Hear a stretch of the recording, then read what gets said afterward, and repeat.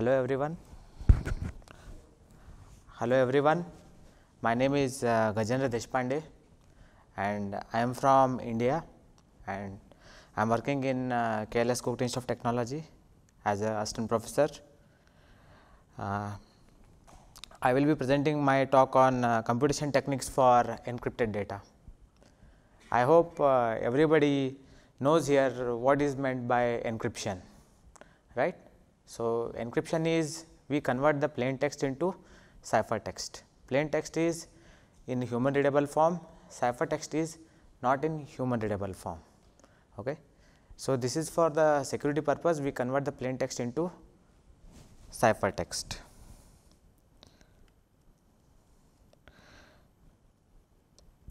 So, I am going to discuss uh, today what is meant by homomorphic encryption, properties of uh, homomorphic encryption, summary of uh, homomorphic properties, then the example, experiment with the RSA algorithm, results, then machine learning and homomorphic encryption, then finally the conclusion.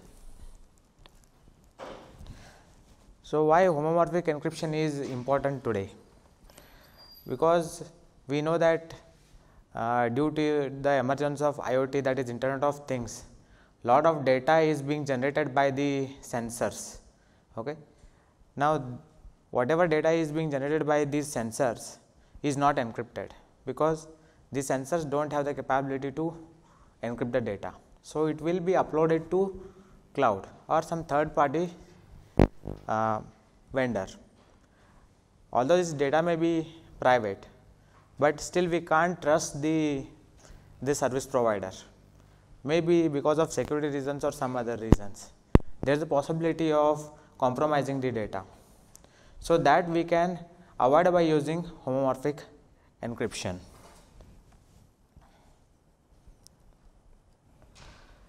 Now let's take a example. Okay. Uh, for example you have come to the conference here for PyCon conference.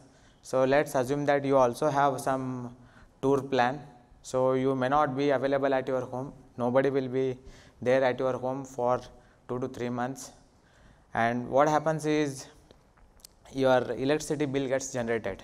So, since you are not there for 2 to 3 months basically you will get the default electricity bill, but this also this information is very very important that is because when you get when you are generating a default electricity bill that also gives the indication that nobody is there at home. So, anybody can or robber can come and he can rob your uh, house. So, that is a possibility.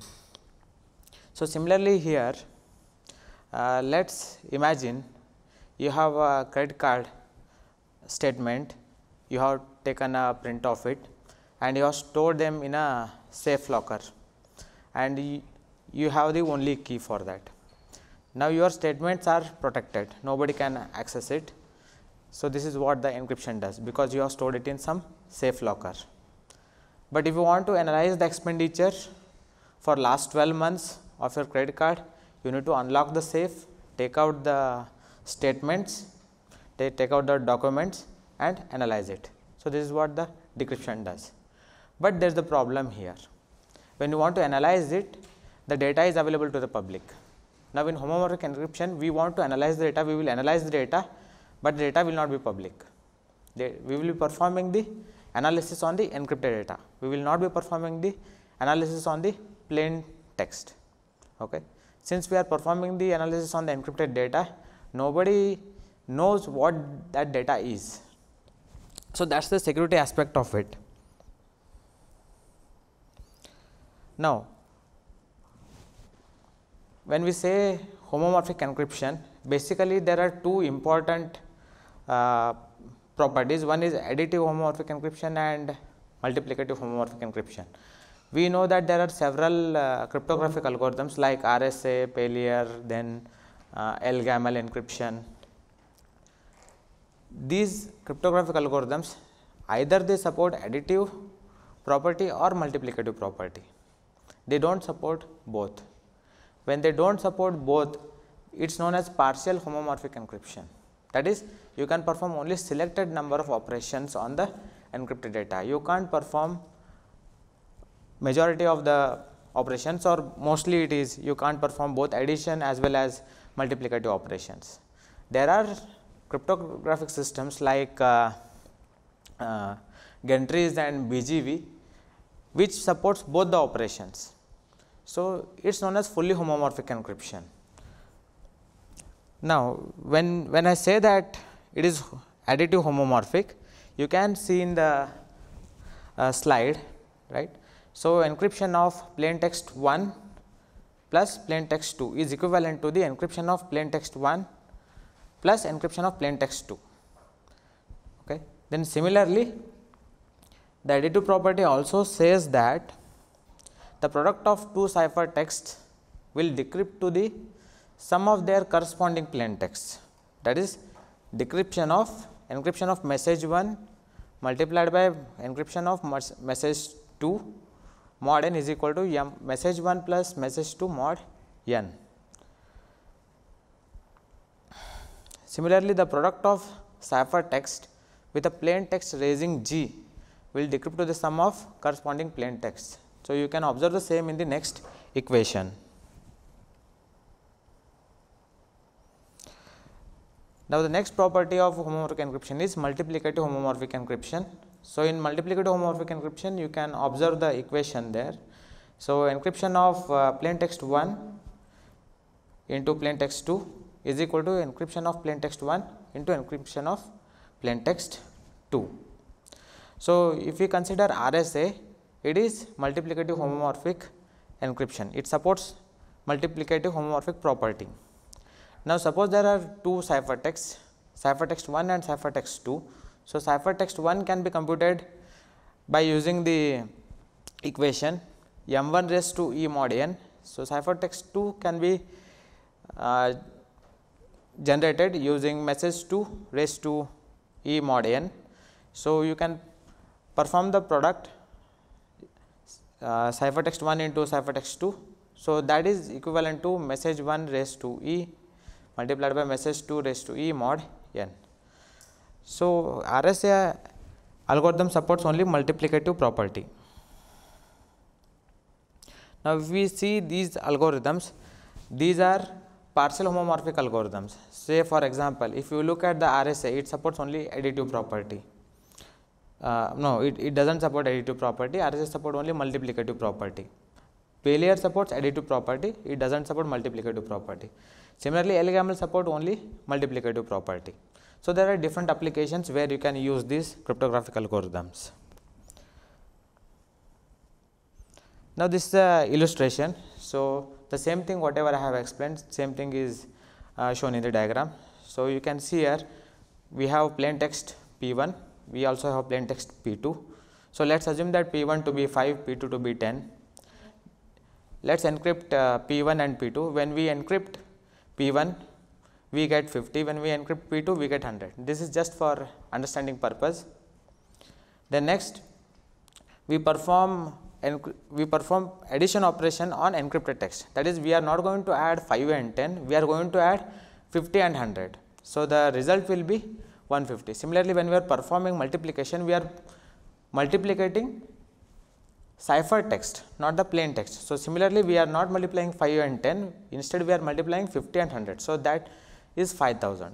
Now, we need to decrypt 150 and 5000. When I decrypt 150 I get the result as 15. When I decrypt 5000 I get the result as 50. Now, if you compare this result with the operation on the plain text it is the same. So, when I add P 1 and P 2 I get 15, when I multiply P 1 and P 2 I get 50 but note here that I have not performed the operation both that is addition and multiplication on plain text. I have performed it on cipher text.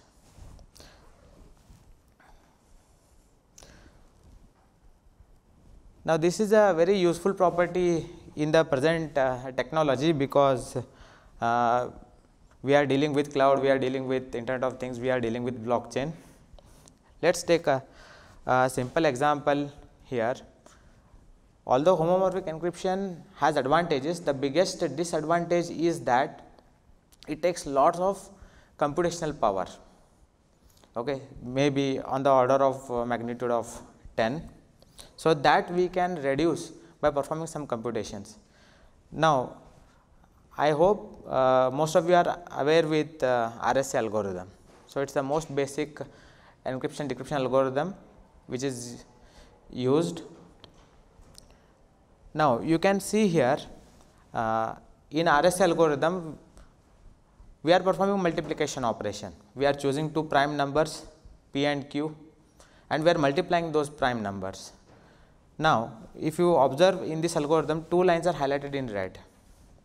Now, the main experiment what we are going to do here is first let us try to optimize the RSA algorithm itself by replacing these multiplication algorithms with more standard multiplication algorithms. This is just a star which is the default uh, uh, multiplication operation you will get in your system. Maybe if you are using Python or some other languages the default multiplication algorithm may be much more powerful. So, when we replace these two lines with uh, algorithms like uh, fast Fourier transform or with respect to RSA, we are performing the experiment at two stages. One, we are modifying the algorithm, we are replacing the multiplication algorithm of RSA algorithm with Karatsuba or fast Fourier transform methods. Then second, once we uh, once the modifications are done to the RSA algorithm, then we use the modified RSA algorithm to encrypt our data. Now, when we encrypt our data, then also we need to perform some uh, some multiplication operations on encrypted data. So, there also instead of using normal star operator or the default uh, multiplication algorithm, there also let us use uh, fast Fourier transform or uh, Karatsuba algorithm. So, basically we are replacing our default algorithm at two stages. One is at the algorithm level, second one is at the execution level or the result level. So, this gives us the better results.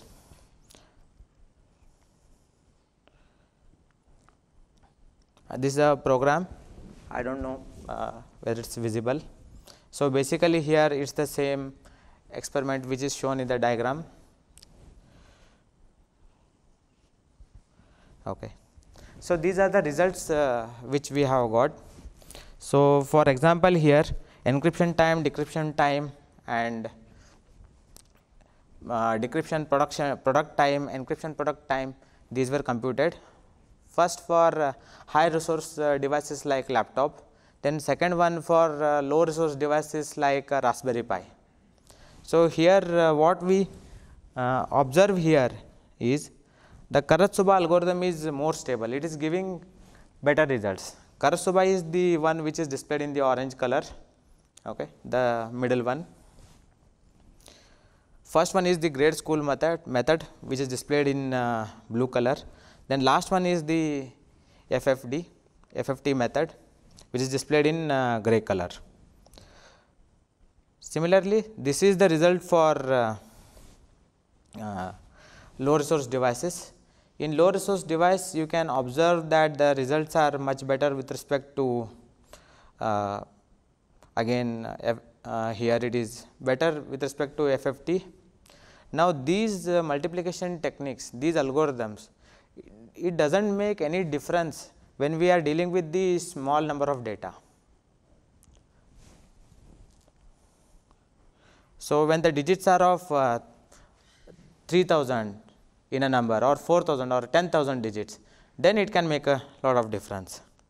Now, we also know that in case of machine learning, we deal with lot of data sets.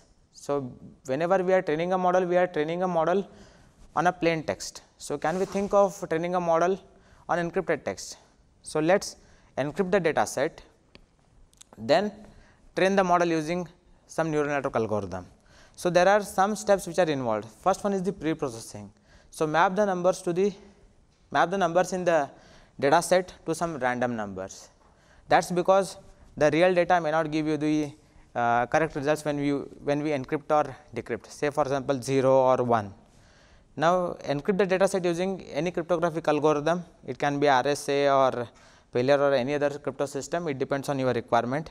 Then perform the computations on encrypted data then decrypt the results then again when you post process it it may be necessary to round up or round down the numbers and again remap the random numbers to the original numbers.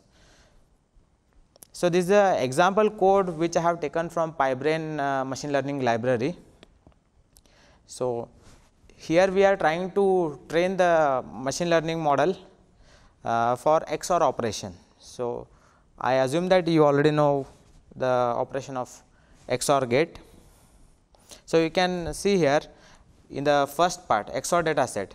So, 0 0 gives you 0, 0 1 gives you 1, 1 0 gives you 1 then similarly 1 1 gives you 0 this is the plain text right, but we will encrypt this text and we will train our XOR gate. So, for example, the first step what we have done is we have done some pre-processing. We have mapped uh, 0 to 10 and uh, 1 to 20 and we encrypt 10 and 20. When we encrypt 10 we get 193, when we encrypt 20 we get 39. So, the model you can observe here instead of 0 1 now you will see the encrypted numbers 193 193 193 39 39 193 okay So, this is a code it uses back propagation uh, uh, training algorithm. Now, you can observe here when we once we execute this uh, program it is giving the correct results. Now, the only thing what we need to do is we need to post process the data we need to correctly now we need to decrypt these numbers 193 and 39 and map it back to the 0 and 1. So, this is how we can protect our machine learning models using homomorphic encryption. So, the conclusion is homomorphic, homomorphic encryption enables computation on untrusted resource. So, if you have uh, any Uh, untrusted resource such as mobile phone and you want to use the capability of that device for computation, you can use it using homomorphic encryption. The computation time over ciphertext can be reduced by using Karatsuba or FFT techniques or you can use some other algorithm. Now, training and testing machine learning model may involve additional steps such as pre-processing and post-processing and it results into additional computational complexity. So, I thank uh, organizers for giving me an opportunity to present my talk. Thank you. Any questions?